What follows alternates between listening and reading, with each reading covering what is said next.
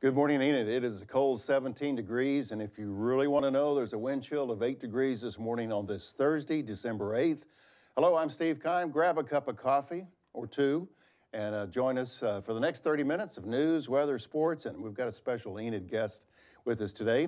Coming to you live this morning to over 14,000 homes in the Enid area, and then we're live streaming around the globe at enidtv.org on the internet. This is Good Morning Enid. It's time to rise and shine.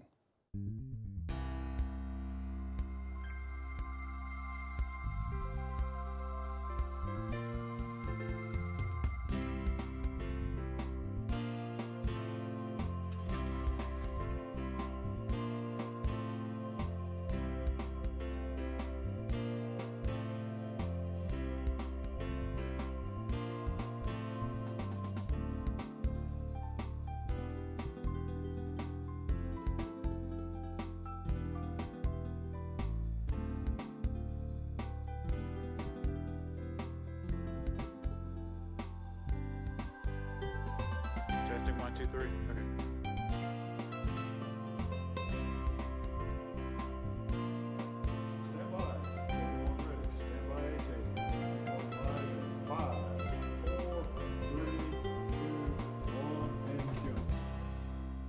Good morning, Enid. Thank you again for joining us on this cold Thursday, December 8th. If you're planning your day out, uh, again, a wind chill right now of 8 degrees, but the high today is going to be 36. Kind of a partly cloudy type day today. So December has fully arrived and some winter weather has fully arrived. We're, we're glad that you're with us. Well, real quick, let's look at some of the statewide temperatures. If you think it's a cold 17 degrees here in the Enid area, look at Buffalo at 16. You have to go all the way down to uh, I-35 and Texas border at Thackerville, 29 degrees. So, you know, that's a typical map in uh, December. It's always colder in the northwest. In Rose, Oklahoma, 20. In Krebs, if you've ever been to Krebs, great Italian restaurant in that area, 27 degrees there this morning. So those are some of the statewide temps. Oh, before I forget, I want to say hi to some of our friends at Stewart Nissan. I know we have a lot of folks at the Commons and also at uh, Greenbrier. And I'm trying to think of the other retirement home that watch us every Thursday. We appreciate uh, you watching us. And also, we know some folks are over there at uh, Stewart Nissan, so we say good morning, Nina, to you as well. Uh, the three day forecast, if you're planning um, to do something on Friday, Saturday, Sunday, and need to know if you need one coat or two coats, as you can see, Friday, it's not going to be too bad. It's going to be sunny, high in the upper 30s. But look at those lows in the 20s, so it's, uh, it's obvious that it's uh, December weather. Looks a little bit better for Saturday. I like those 50s and kind of tolerate the 50 degrees and then all the way up to 57 on Sunday. So that's what it looks like for the next three days. It's 7:33. Thank you for joining us. We we really appreciate the opportunity to come to you every Thursday morning to provide you news, weather, and sports and Enid information. We have a special guest. Uh, Commissioner Ron Janzen is in the house. He'll be with us in just a moment to give us an update on what the commissioners are up to. But until then, we need to go to the bow tie guy, and that's Derek Silas for the Oklahoma Minute.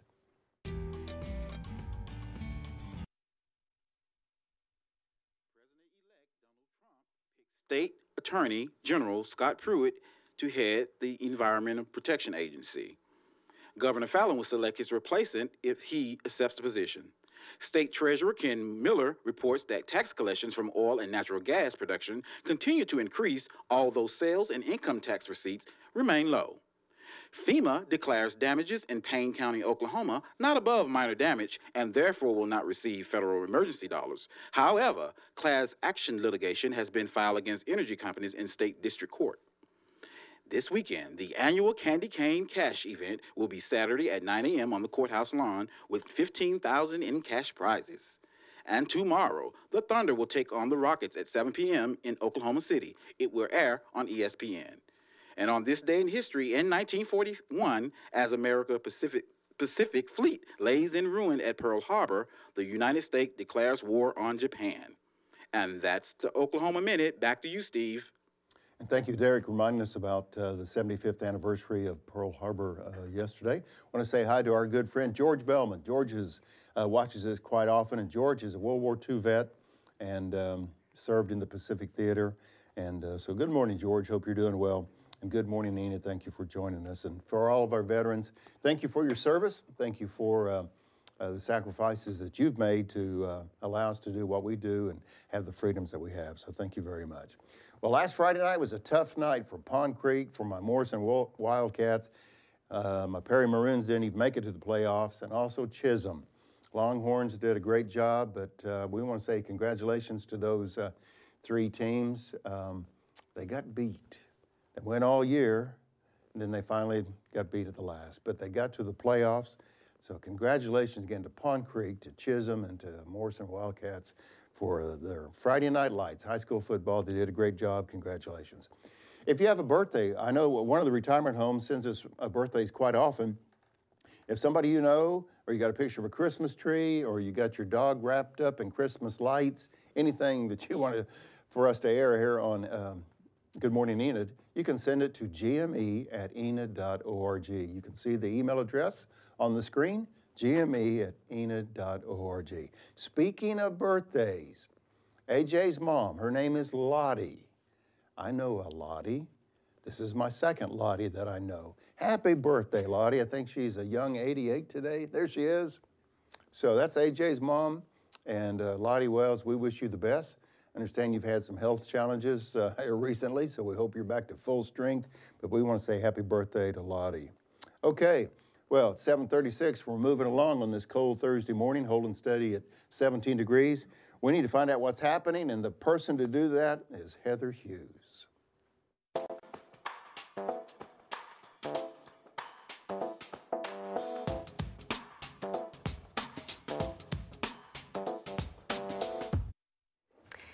Morning, Enid. It's great to be here this morning. Well, this holiday season, there's lots to do in Enid, starting with this weekend. Sleigh Rides with Santa um, is going to be at Benny's Barnhorse Therapy Ranch. Um, they are located at 4914 East Roop, so that's southeast of town. Um, and this is going to be December 10th from 11 a.m. to 3 p.m. And uh, this is also a, a, fundraising event, so be sure to come out and um, help support the Horse Therapy Ranch. Then the um, NOC Mackey Planetarium is presenting The Star of Bethlehem. There's going to be two showings, both on December 14th, one at 6.30 p.m. and one at 8 p.m. They're going to be recreating the sky over Babylon from over 2,000 years ago. Um, there's no admission charge for this event, um, but they are going to be accepting donations of food um, for loaves and fishes. And then um, also in December, Scotty McCreery, American Idol winner, and country singer is going to be at the Chisholm Trail Expo Center on December 17th at 7.30 p.m., and that is a Saturday. Um, tickets are going to be 30 40 and $50. Um, you can get your tickets at the Expo Center box office or at chisholmtrailexpo.com. And lastly, moving into 2017, it's the 21st annual KNID AgriFest. This is also at the Chisholm Trail Expo Center. Um, two different days, January 13th, 9 a.m. to 6 p.m., and then again on the 14th, 9 a.m. to 5 p.m. Parking and admission for this event are free. Um, it, and this is the North, Northwest Oklahoma's largest farm show with over 250 booths. Um, for more information on events going on in Enid, you can check out visitenid.org. And that's what's happening. Back to you, Steve. What's happening with Heather? As you notice, Heather's here every other week. We have Brooke Bodie that uh, Brooke is back that gives us the update on all the events at the Event Center, uh, CNBC Center, I should say. So, anyway, welcome back, Heather. Uh, the school menu, as you're getting out the door, trying to get everybody to, to uh, school today, this is what the menu looks like for Thursday and Friday. Again, that's pre K up to the fifth grade. Today, we'll get some beef tacos and just typical compliments to all that lettuce, cheese, ranch beans, mixed fruit, and milk. Friday looks pretty good. Barbecue ribs, onion rings, sign me up applesauce, carrot cake, and good old milk. So that's the, that's the menu. So very good. Okay, again, we've got a very special guest to keep us updated on what's going on. Good morning, Enid. It's uh, Thursday, December 8th, and again, Holden Stadium at 17 degrees. The wind chilled is around 8 degrees. For pilots, we always say good morning to them because they're always watching Good Morning Enid. Our winds are out of the west northwest around 6 miles per hour and kind of stay that way today with a high around 36 enough of the weather. We need to find out what's going on with our city commission, and it's time for one on one with Jamara.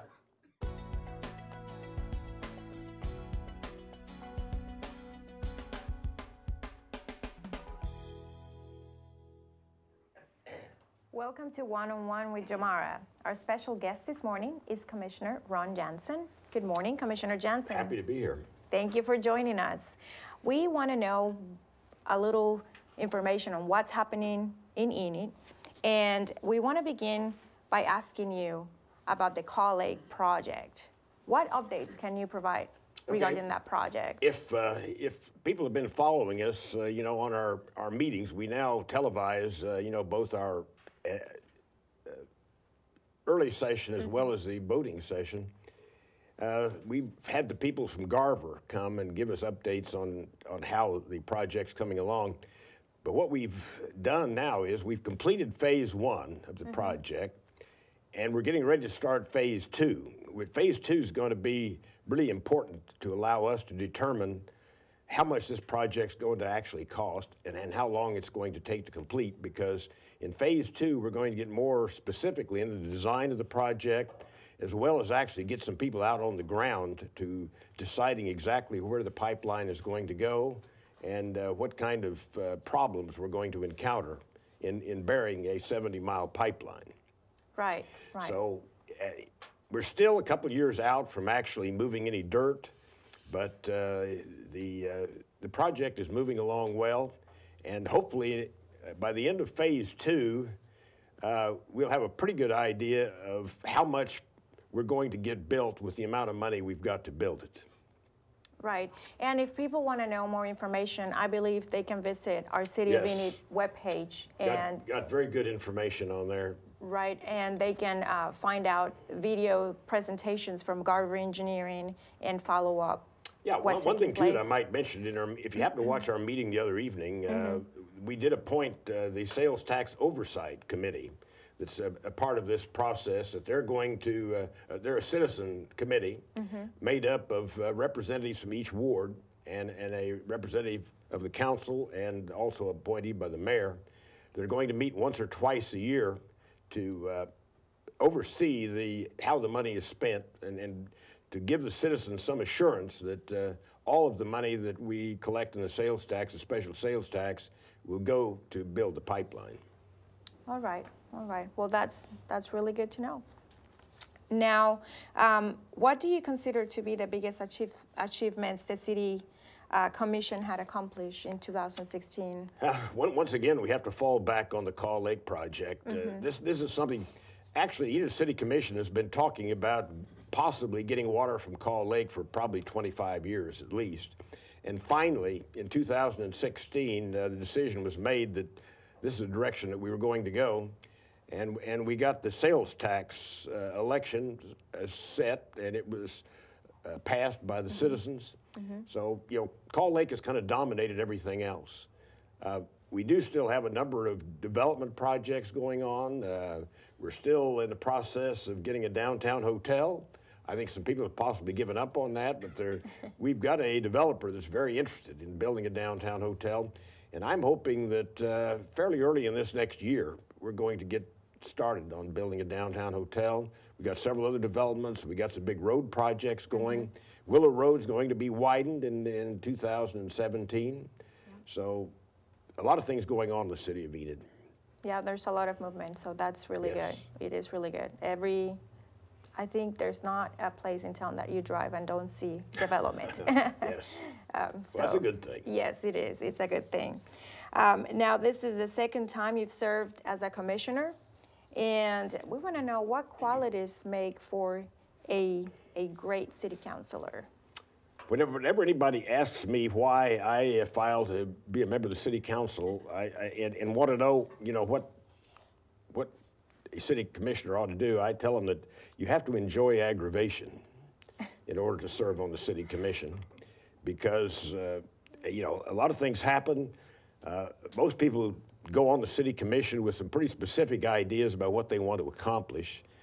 And one of the things you learn after being on the commission for a little while is that everything that you want to do takes about twice as long as you think it should and costs about twice as much.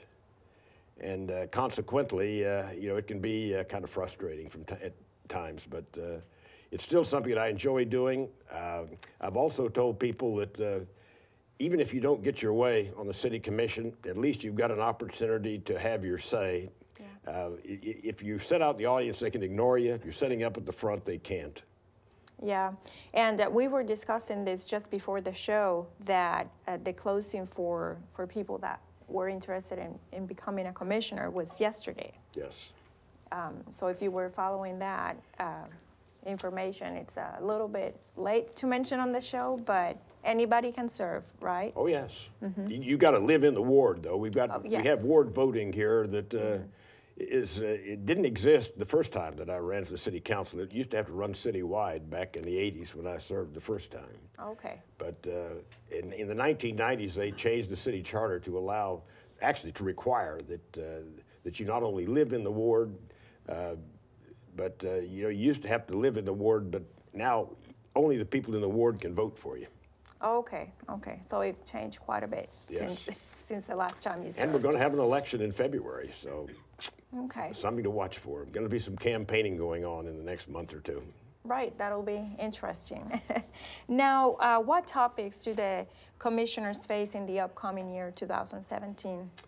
Uh, like I say, I think I touched on a couple of things. One thing we we want, uh, you know, the Kaw Lake project. Uh, we're going to have regular updates on that. It's it's going to be an ongoing project for at least the next three or four years, and uh, we've also got some development projects we've been working on that we actually uh, hope to see some uh, something happen uh, in in 17. So, you know, keep an eye on us. Uh, we meet the first and third Tuesdays of every month. Yeah. Our meetings are televised.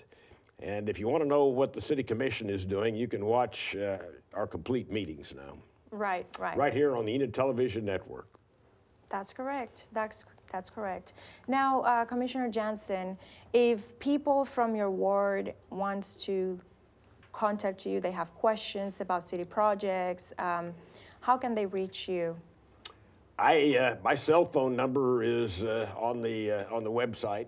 They can pick that up. Also, I'm listed in the phone book if they want to call me. Uh, any, anytime they uh, want to share something with me or contact me, I'm, I'm available. All right. And, and again, you can visit the City of Enid uh, webpage at www.enid.org, and you can find um, more information on, on what's going on in the city. You can, you can view previous uh, commission meetings, study sessions, and get a hold of your ward. Yes. Um, I believe there's a ward map that you can find out exactly who you need to contact, so that's, that's really And I, I want to encourage people to contact their city commissioner. I think each of the city commissioners would be delighted to get a call from you and uh, hear what your uh, thoughts and, uh, and ideas are. So don't, don't be reluctant to call. Worry about uh, you, you might be uh, taking somebody away from something that, uh, that's more important. Because as far as I'm concerned, and I think most of the commissioners, uh, we, we want to know what our constituents are concerned about. Right, right. Well, Commissioner Janzen, thank you very much for taking time to meet with us this morning. We you. appreciate your time Thank and you. your service. Thank you. Well, thank you for watching One on One with Jamara. Now let's go back to Steve. Very good. Thank you, Commissioner Jamara. 748, good morning, Enid, on this Thursday, December 8th, hold and steady at 17 degrees. I heard a phrase or a term that I hadn't heard in a long time. Phone book. When's the last time you heard phone book? You know, it's, it's interesting. Uh, matter of fact, to share a story, the mayor came in my office the other day and goes, Steve, you got a phone book? I need to look up this number. And it's just, phone book? Oh, it's those yellow looking things. You know, I'd forgotten what those were. So, anyway, Commissioner let you know how you can contact him, and we encourage you to do so. And of course, you can go to our website, which is simply enid.org. You can go under uh, the commissioners, under the government uh, column, if you will, and you can see the bios of each one of the, the commissioners and their wards and what they represent.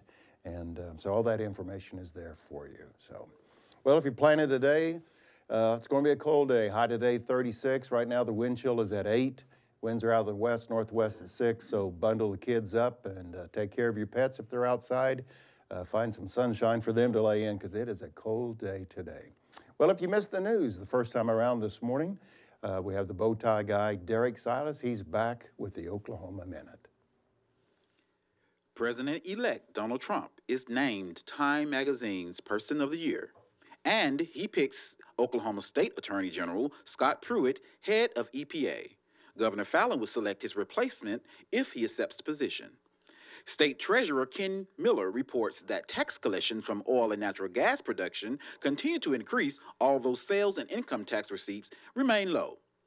FEMA declares damages in Payne County, Oklahoma, not above minor damage and therefore will not receive federal emergency dollars. However, class action litigation has been filed against energy companies in state district court. The annual Candy Cane Cash event will be this Saturday at 9 a.m. on the courthouse lawn with 15,000 in cash prizes. Also, earlier there will be a dash, 5K dash.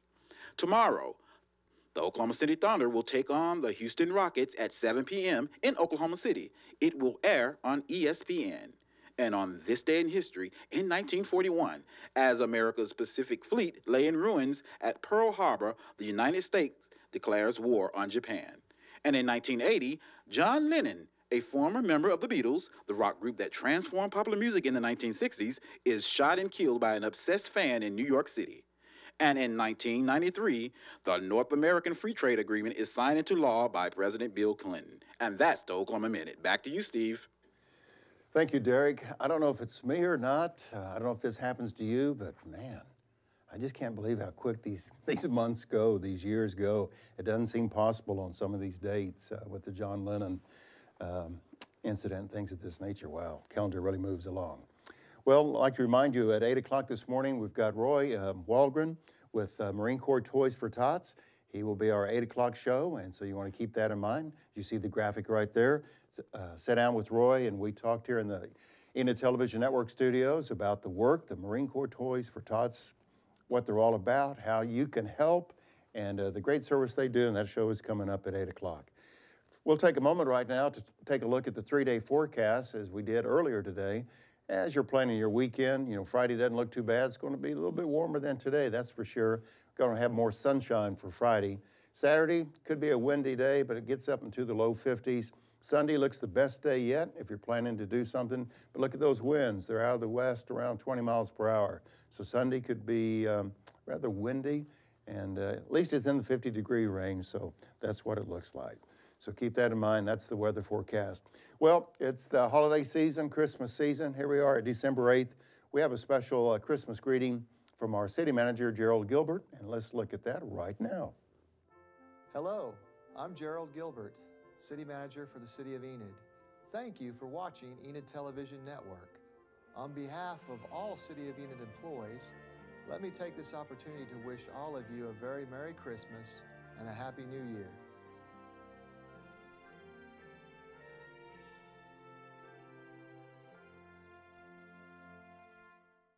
Thank you, Gerald. Appreciate that. It's just hard to imagine we're, uh, Christmas is on a Sunday, so we're just a few weeks away. Okay, we have Heather Hughes. She's back with us here at uh, Good Morning Enid Show, and uh, we need to find out what's happening with Heather, and we'll do that right now. Good morning, Enid. it's great to be here this morning. There's lots to do here in Enid this holiday season, starting with this weekend. At Benny's Barn Horse Therapy Ranch, um, they are doing a fundraiser, and it's Sleigh Rides with Santa. So, holiday festivities for the whole family on December 10th, 11 a.m. to 3 p.m. They are located at 4914 East Route, and that is uh, southeast of town. $10 admission and $1 hot dogs. And next, the NOC Mackey Planetarium is presenting The Star of Bethlehem on December 14th, and there's going to be two showings, one at 6:30 p.m. and one at 8 p.m. The show is called The Heavens Declare the Glory of God, and they're going to be recreating the sky over Babylon 2,000 years ago. No admission charge, but they are accepting donations of food for loaves and fishes. And next, also in December, Scotty McCreery, winner of American Idol, is going to be at the Chisholm Trail Expo Center December 17th at 7:30 p.m. Tickets run from $30, $40 to $50, and you can get those at the Expo Center box office or at chisholmtrailexpo.com. And lastly, moving into 2017 is the 21st annual KNID AgriFest. This is also at the Chisholm Trail Expo Center on January 13th from 9 a.m. to 6 p.m. and again on the 14th from 9 a.m. to 5 p.m. Parking and admission are free, and this is the Northwest Oklahoma's largest farm show with over 250 booths. And that's what's happening. Back to you, Steve. Very good. Thank you, Heather, for that update. I tell you, it's just amazing when you see what things that are going on at the CNBC Center and just within our community. Uh, you don't have to go to Tulsa or really Oklahoma City anymore for a lot of things. Uh, you go to their website and you see all the, the concerts. They had the Cirque uh, Dreams Holidays this week, and that was on Monday. They've uh, just amazing some of the events uh, that are coming right here in Enid. So pretty exciting times. Holding steady at 17 degrees, a, a Burr wind chill of 8 degrees, but the high today is going to be 36. Well, 249 4910 is a number that we want you to hang on to for the holiday season. Um, the other night at the City Commission meeting, the animal control officer mentioned there were several pets that needed to be adopted. They had a lot of dogs and they had a lot of cats. They brought in one puppy dog named Wally. He needed a home and he was well mannered. And anyway, 249 4910 is the number to call. And let's take a moment right now to uh, look at the pet promo and just remind us about uh, the importance of adopting a pet.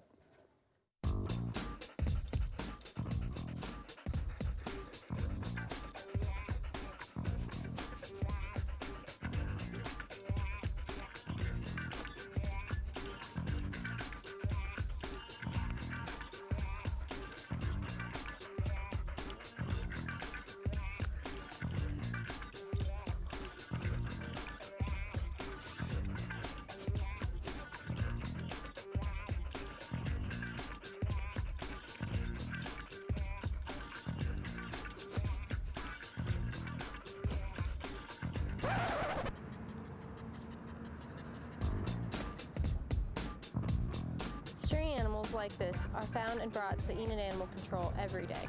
All of these animals are in need of good homes. Please consider adopting a dog or a cat from Enid Animal Shelter. Call us at 249-4910 or come down and see us at 1200 South 10th Street. Good morning, Enid. It's 7:56, almost 57. It's been a quick 30 minutes. Hope you enjoyed our program today with our news, weather, and sports.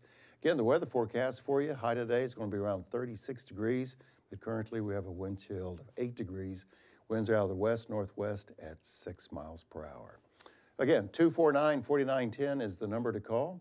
And I was going to ask, did I'm sorry, AJ, as I'm looking away, if we were, we were going to run a We can run cybersecurity. Okay, let's do that right now. We've got, um, well, forgive me, with live TV, you got 47 things going on in your mind.